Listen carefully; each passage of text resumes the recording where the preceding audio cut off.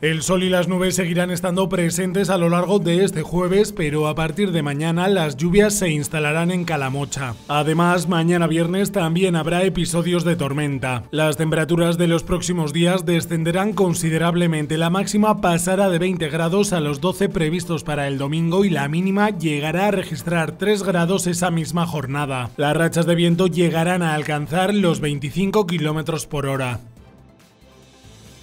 Hoy sigue siendo un día con presencia de sol y nubes prolongándose hasta el final de la tarde. La temperatura máxima se ha registrado en 20 grados y la mínima en 9. Las rachas de viento son de 5 km hora de componente sureste.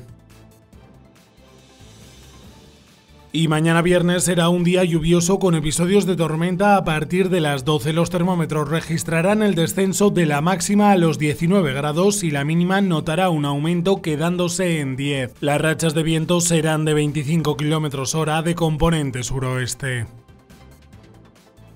Son datos de la Agencia Estatal de Meteorología.